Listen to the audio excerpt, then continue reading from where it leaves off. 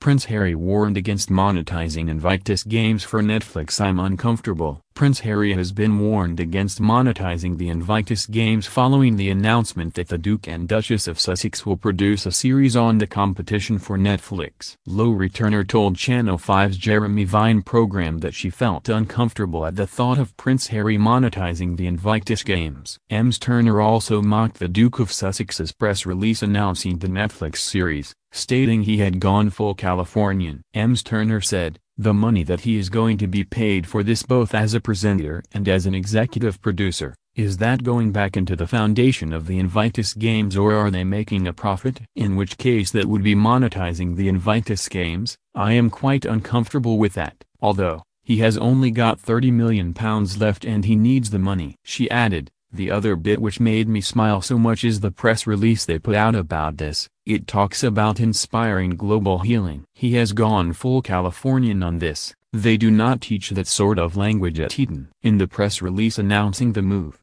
Prince Harry said, since the very first Invictus Games back in 2014, we knew that each competitor would contribute in their own exceptional way to a mosaic of resilience determination and resolve. This series will give communities around the world a window into the moving and uplifting stories of these competitors on their path to the Netherlands next year. As Archewell Productions' first series with Netflix, in partnership with the Invictus Games Foundation, I couldn't be more excited for the journey ahead or prouder of the Invictus community for continuously inspiring global healing, human potential and continued service.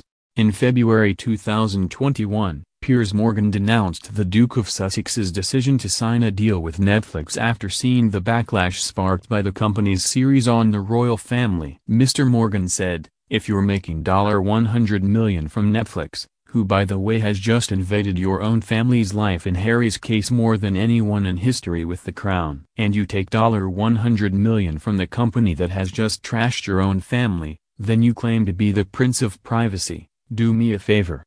Last year following the fourth season of The Crown being released on Netflix, Prince Charles and Camilla were forced to turn off comments on their social media after they suffered a despicable backlash. Royal commentator Rachel Bowie told the Royally Obsessed podcast, It is awful that Charles and Camilla have had to turn off social media commenting because of the backlash. Seeing that and how it plays out, I think it is despicable. The Economist wrote regarding the Netflix series, all drama that involves real people is, to some extent, fiction. When Charles and Diana stared into each other's eyes and realized it was over, no one else was in the room where it happened. If those being portrayed are dead, decently behaved and unimportant, nobody cares what lines scriptwriters make up for them. But if they are alive, adulterous and the heir to the throne, things are bound to get sticky.